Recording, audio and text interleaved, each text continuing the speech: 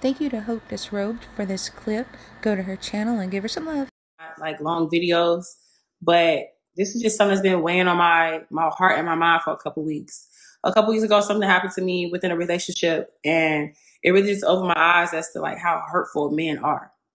I've known that for quite some time, but it's like men are so hurtful with no remorse, no care in the world. Like they just they don't they don't give a fuck, and it's just it's just becoming a little much for me. Last night was the nail in the coffin, though. I'm not doing a story time because I don't. I'm just not gonna do that. But men are just so hurtful, and it's like I just I no longer have a desire to get in a relationship. I no longer have the desire to get married. Damn near about to give up on my dreams of becoming a mom one day. Like I can't I can't deal with it anymore, you guys. And I know y'all gonna be like, oh, take a break. I took a break all this year. I took a break all this year. I done read the self help books, self help books. I done watched Shera Seven. It's like I actually want the love. I don't want to. You get what I'm saying? Like I don't want to use a man for money. Like, don't want to just use him for what he can do for me, even though that's what they do to us. I just don't want to do that. It should not be this difficult. It's like I'm not trying to have a disdain for men. I'm not trying to be a misandrist. I'm not trying to H word men again, but it's like, how could you not? They are so hurtful. They are disrespectful, disloyal rude, selfish. Think about nobody but themselves. And I'm sure there are some good men out there. I met one before. One. You guys are gonna say, "Oh, maybe it's you," because I I know the men are gonna come in and be and just put it all back on me. They're gonna completely dismiss my feelings and put it back on me. I'm used to it. I'm the one actually in therapy working through things and, th- and stuff like that. You get what I'm saying? having to go to therapy for people who won't go to therapy or who don't see any wrong in their their behavior. God, I can't I can't do it no more, you guys. I don't wanna I don't wanna be involved with men anymore. So I think it's just time for me to just really focus on myself. A hundred and three thousand percent. Like really just strictly lock in on everything that I want to do everything I want to do. I don't have time for the for the for the, for the games. I don't time. I don't have time to get my heart broken again. I don't have time to be pulling up on you. Like I don't have time to be finding addresses and stuff like that anymore. I don't have time, but just I can't take it anymore, you guys. It took everything in me last night not to cry, but it's like I, I'm I feel defeated. Y'all got it. Y'all got it. I won't lie, this brought tears to my eyes. It really did. I saw it a few weeks ago and I felt it to the core of me because when it hasn't been me. Power, protect your peace, and release attachment.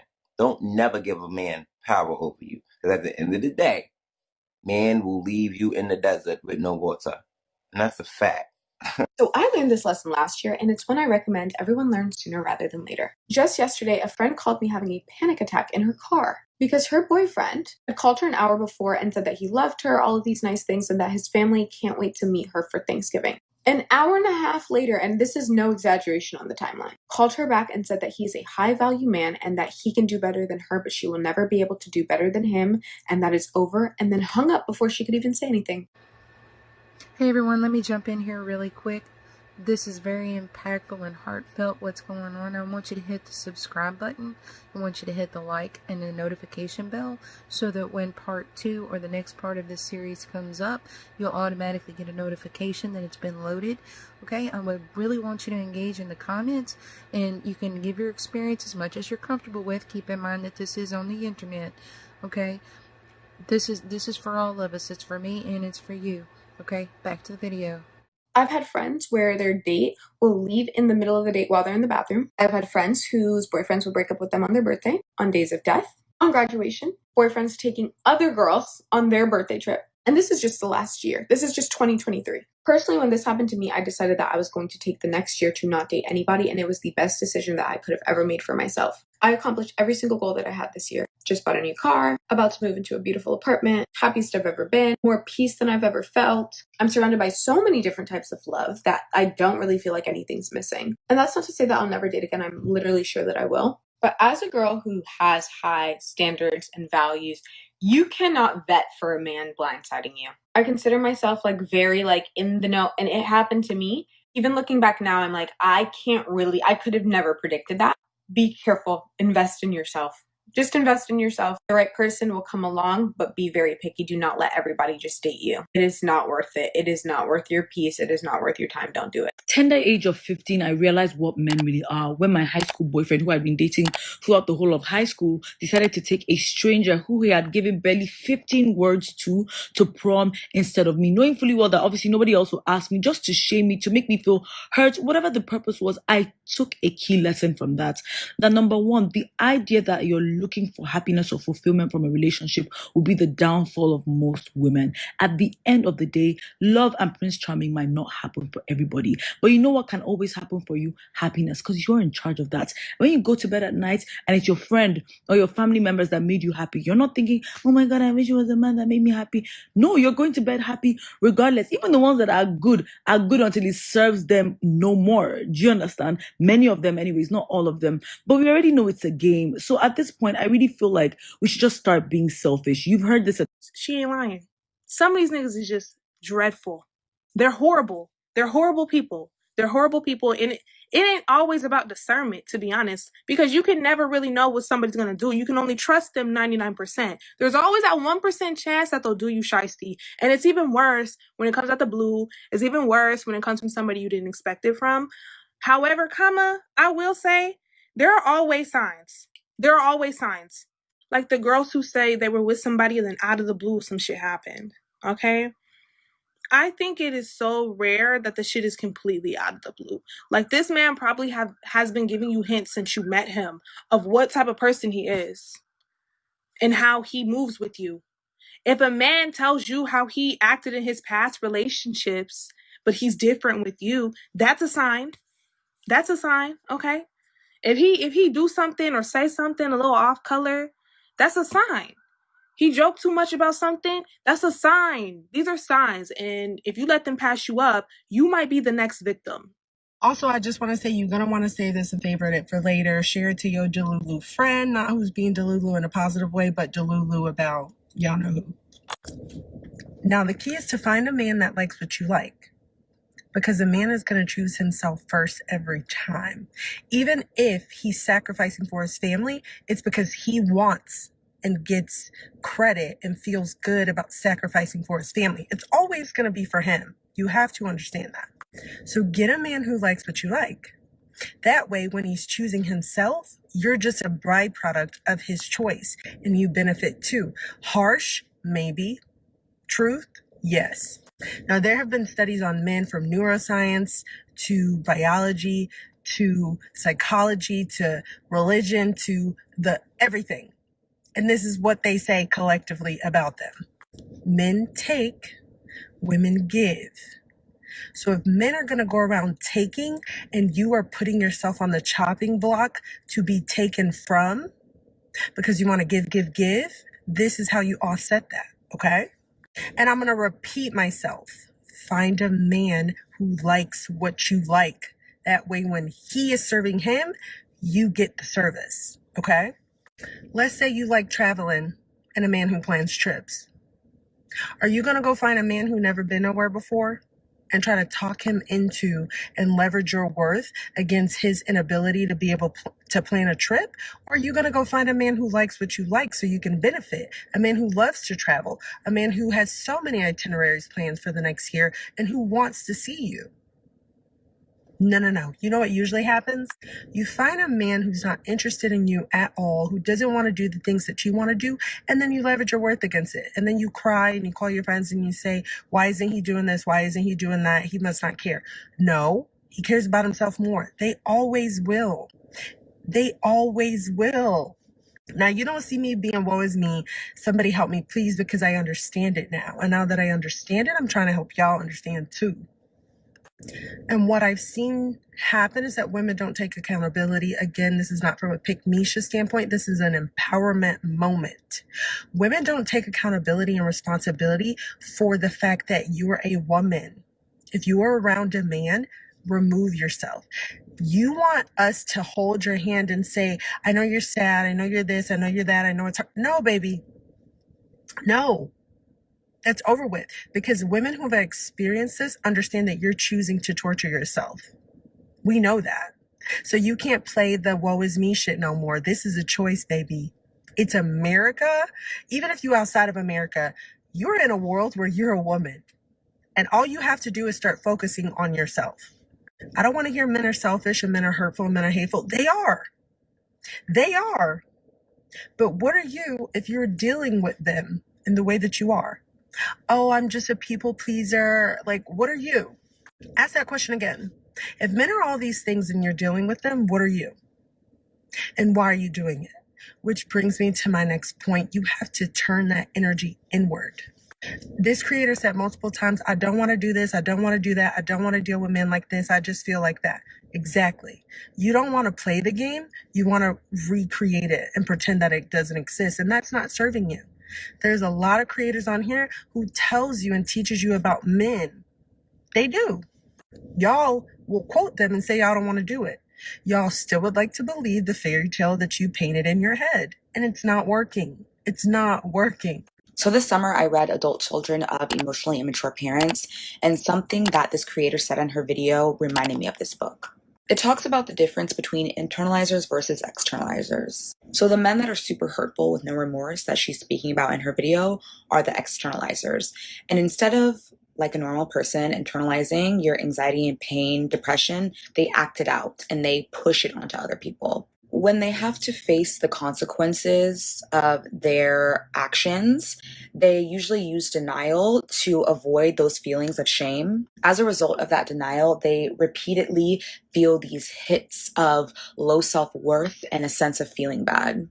But to avoid total self hatred, they rid themselves of shame by blaming other people, making excuses, and blaming external factors. So the reason why these people never grow is because as soon as that shame hits, they need to immediately feel better by shifting the blame onto someone else. And the only way to grow and learn and feel peace is by addressing that trauma that's so built up, sitting with the discomfort and learning from it. She just made a great point, and I feel that about anything that you're going through. If you're I would be very careful, but if, if you're medicating in any way or using any other type of an addiction or anything like that to get through a pain, then you have to sit with it. You have to deal with it. You have to think about it. You have to pray about it. You have to question yourself. What brought me here? What did I do? What did I not see? What did I not ignore? What did I choose to do? What was I looking for? What did I need? You have to ask yourself these questions and you have to sit there until you figure that out. And nothing else can help that. But because these people are essentially running from themselves, they will never do that. So please, if it's one thing that you take from this video, do not take another person's destructive behavior towards you personally because I promise you they are just acting out what they feel inside, which is chaos. As somebody who has horror stories, dating horror stories for literally days, guys are starting to get a little bit more evil with the way they do things. And by all means, I'm not a misandrist like she was saying in the video. I think men are awesome. I've had some great men in my life. But truly, there is something about the way that guys go about things nowadays that are really, it's really hurtful. And it does make me feel like marriage will never be a thing for me. And if you know me, I love marriage. But like, I don't know if it'll be a thing because some of the things that the guys do are just so unhinged and by all means i'm not perfect but like one thing that i love that she said in the video is like i'm not perfect but i'm going to therapy i'm writing in my journals i'm trying to heal and i just feel like guys don't do that and then everything is now put on us and i'm tired of it and it is exhausting someone else stitched this video and said you cannot vet for a man blindsiding you. And I think that's a factor that a lot of men don't like for us to talk about. They always try to say, oh, there had to have been signs. No, not always. Like sometimes a guy really is perfect. Is perfect. I'm not saying this is the case 100% of the times. Yes, sometimes there are glaring red flags, and sometimes there are more subtle flags that maybe you still could have caught. But a lot of the times, a lot of the times, these things come out of absolutely nowhere. But whether you're blindsided or you saw the signs, the best thing you can do for yourself is still leave.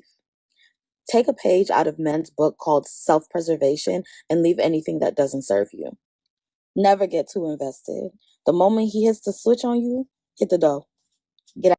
and then you come on here and you and, and, and you and you try you tell your story and you get gaslit. The men are like, "Oh well, you should have chose better."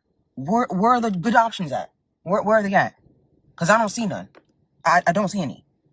So so what do you want me to do? So what so what do we have to do? We have to, you know, be self sufficient, extremely self sufficient, ext- extremely independent. Because you can't depend on y'all for nothing. And I'm not even trying to come from a place of I hate men, but it's just the reality. There's too many people, women in general, but specifically black women, coming on this app constantly saying the same thing, having no faith that they'll find their partner because of how vile men and their brethrens are. What are we doing? What are we doing? When is this gonna stop? Dating and getting to know people shouldn't be this hard. It shouldn't. We're grown. I'm gonna be 27 in March. We are grown. We all got stuff to do and bills to pay. What are we doing? What are we doing? Like she said, people will. There's more women who are in therapy. I'm in therapy too. Uh, like you know, like the people are women specifically are putting in that extra work to work on themselves, so they can be the best partner for them and their for not even for just their partner, for their friends, for their family, depending on you know situation. You know what I'm saying? But you know, it's all situational. But people, specifically black women, are going to therapy, trying to unpack their traumas, trying to be a better person trying to do right by people just to get frigged over time and time and time again. Who has the time and energy for that? Whew, child. Listen, I have not been in the dating world like that. So I am fairly new to this. I do not know. I did not know that you guys are going through these levels of struggle. Like, this is insane. I say that, but I've had my little taste of problems. I don't want to be involved with men anymore. Okay, y'all. I've seen this video stitched up and down. Guys, if you've hung around this long, you're a real trooper. Go ahead and hit like and subscribe and watch the rest of the video. Frustration. She's given up hope on dating and men in general. Well, specifically, let's just say black men, because I don't want to speak on all men right now. I want to speak on black men because I'm a black woman.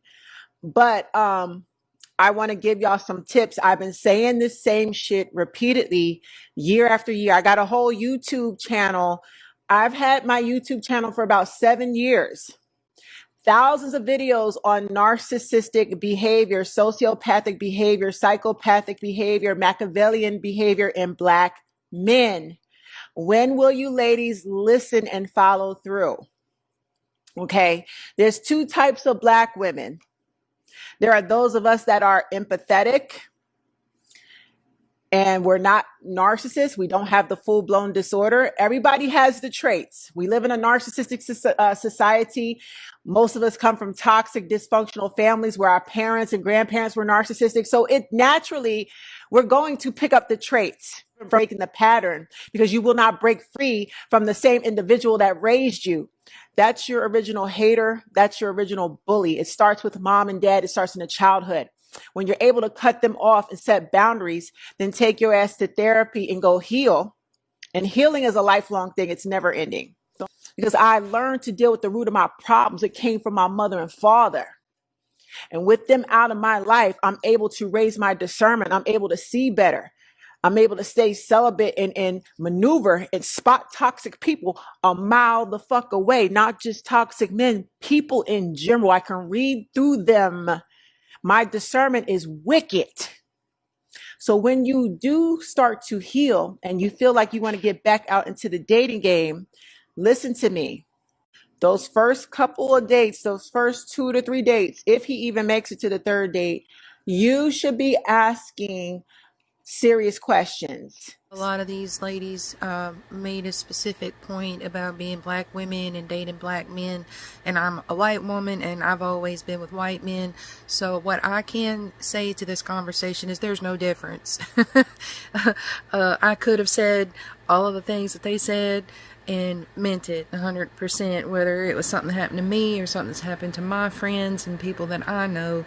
Um, and also, on that note, I also want to say that I know that this whole video was women speaking on men, but I do know some men who are also um, the personality type of being an empath or being a nice person, a giver, being a people pleaser, and the same narcissistic, you know, the same description of these men in, in a woman uh, will take advantage of those men in the same kind of way, and they, they cause the same kind of hurt and the same kind of pain. So I just want to acknowledge that also.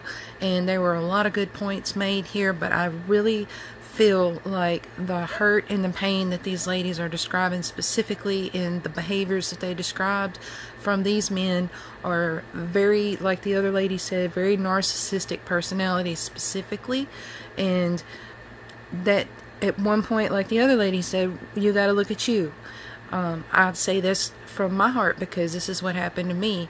Um, yeah, that's what it is, and you recognize, okay, I'm I'm being mistreated and abused. In my case, I was married, but why are you with a man that would abuse you? Why did you choose an abusive man? And you say, well, I didn't choose an abusive man. Like like the other lady said, there were signs what was missing in you that you wanted, what was wrong with you. In my case, I'm very codependent and I had a messed up childhood. I had some really messed up family dynamics, just like they all described. And that's why I say my family's white. You know, uh, we weren't uh, rich or middle class even. We're sort of like on the upper level of poor, just where, you know, paycheck to paycheck kind of thing. And um, I had the same experience. Now, I don't date, and I'm not going to date not in the way that they're describing it. And this is one thing that I'd like to be able to say back to those ladies is um, I have faith that I'll have a relationship again, but I'm not feeling the need to go date to find it because absolutely I'm working on myself and I'm doing the work and that's why I'm watching these videos and hearing what these smart ladies had to say because I'm trying to figure out what am I and, and I have ignored myself and I've neglected myself and all the things that I was interested in and all the things I was good at. Who I haven't been doing any of that. I mean I've been babysitting a narcissist for 15 years girls. Listen listen listen to me. 15 years. Don't do it. It's so hard to start over okay you don't have to date. You don't have to be out every weekend and you don't have to feel like you're not wanted or unworthy because you don't have a date tonight or you don't have some guy that's that's texting you like crazy because you are a whole person. And I'm talking to me too because I'm learning this lesson myself. But I would say this I have two daughters and I have a son. And I would say this to all three of them you are a whole entire person and you should not lose sight of the things that you are and that you want and that you enjoy, what you want out of life, and you should be seeking those things every day. And to be a better person and a smarter person and, and all those things.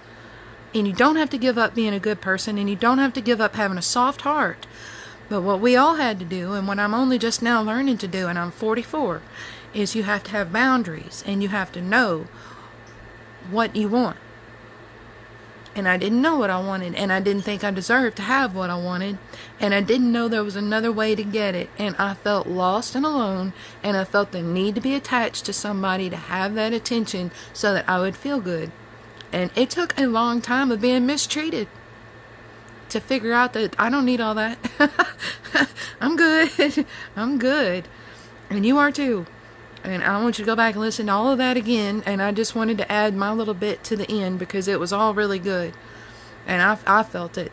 And, and I know they were specifically, like I said, they all, all of them made a point to say, you know, that I'm a black woman and, and I'm dealing with black men, and I'm not. And I wanted to say that I'm not, but it's the same. Y'all, it's the same. And like I said, the, the, I know a few really good men but they're also an empath, sweetheart, you know, giving type person, and they were taken advantage of by that same spirit. And I've heard somebody else on another video talking about how it's a spirit, so maybe it's even beyond us. It's on a spiritual level, but you gotta you gotta be you, okay? Wow, that was a lot. Thank you for watching this video. Like and subscribe. Please hit the notification bell. Leave me some comments and tell me your thoughts.